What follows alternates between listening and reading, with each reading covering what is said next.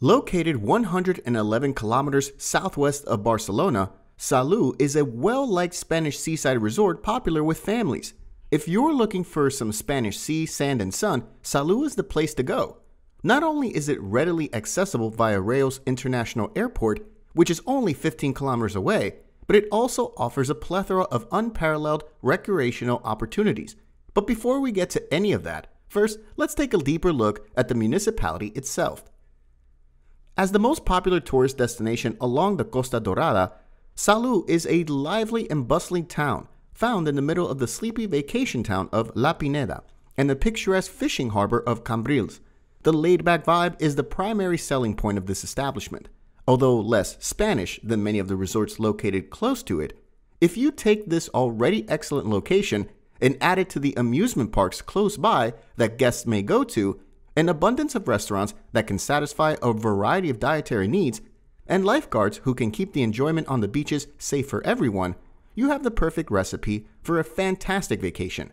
The resort town markets itself almost exclusively to visitors from the United Kingdom, since it's a truly family destination. It's highly likely that you will run across other people with whom you may have a nice time, and occupying the attention of adolescents and younger children should not be difficult, given the abundance of activities available for them to participate in. But that's not all there is to it. Salou has a vibrant culture and hosts dozens of colorful national festivals and holidays throughout the year, one after the other. These events bring in thousands of visitors from all parts of the world. Among all the events, however, the Motor Star Festival is and will continue to be one of the city's most exciting events. A large procession of automobiles serves as the major attraction of the festival. The automobile parade begins on the Paseo Jaume 1 Avenue and continues along the city's first important thoroughfares. The procession features classic automobiles, and during the course of the festival, there are typically many displays put on that demonstrate the unique automobiles and modes of transportation. The Golden Nights Summer Fiesta is considered the most important summer event in Salou, and each year it's attended by more than 300,000 visitors from other countries. The primary activities of the entertainment schedule for the Grand Summer Fest are the competition for the title of Queen of the Festival, which features a dazzling music show and an impressive pyrotechnic spectacular, as well as markets and street performers. Significant historical moments are frequently honored with a festival of their own. The Festa del Rey Jaume I is an example of one of these types of festivities. The celebrations for the festival last for an entire week.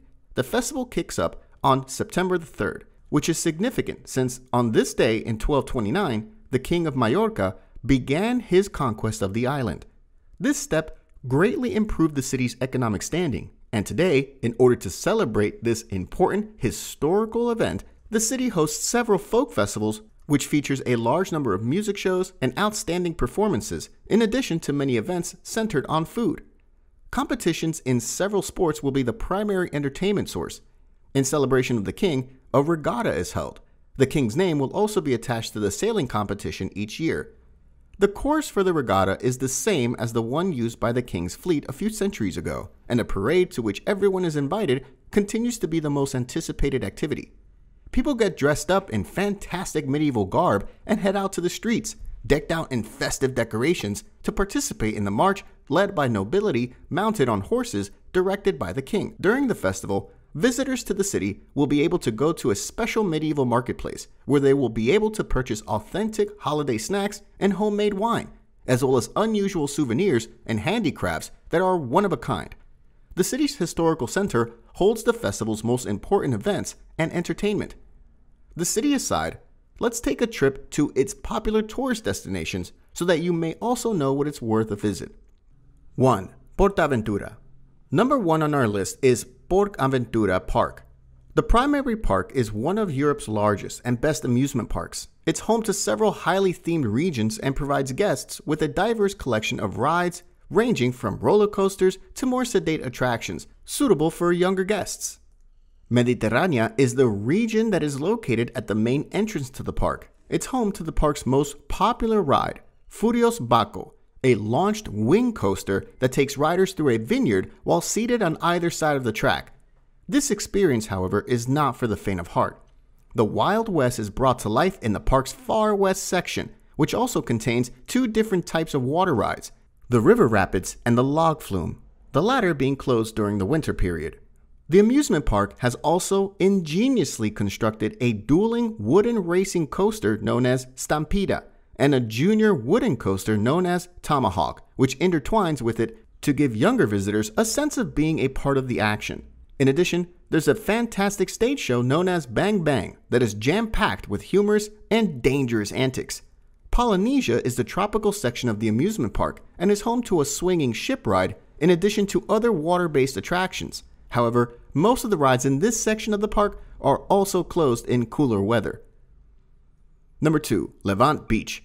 New to Barcelona's shoreline in the city's northernmost section is the sandy Levant Beach, located next to the Nova Mar Bella.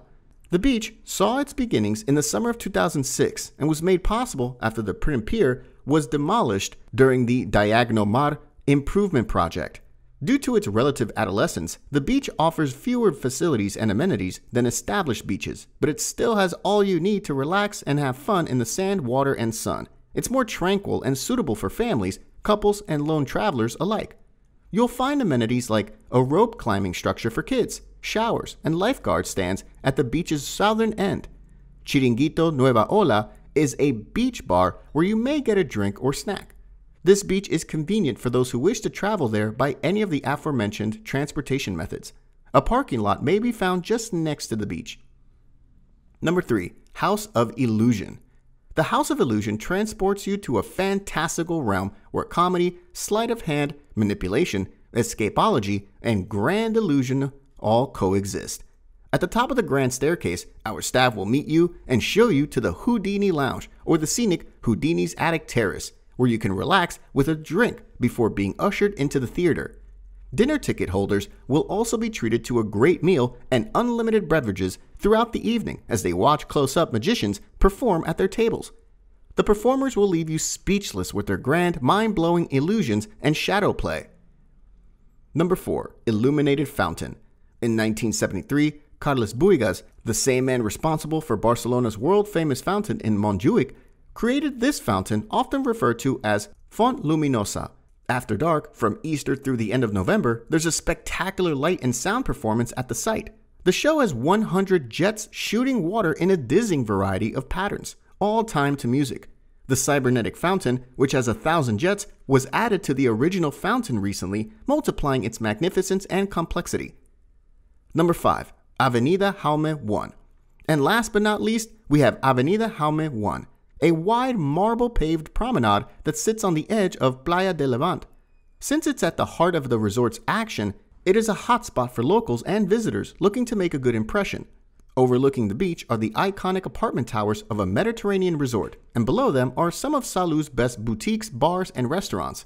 The palm trees on either side of the promenade frame a statue of James I, the Conqueror, a king from the 13th century who is revered as a national hero in Catalonia because he's credited with liberating cities and towns from Moorish rule. This brings us to the end of this video. If you like the video, please consider subscribing and sharing so we can keep bringing more content like this. Also, let us know your thoughts in the comments below. See you next time!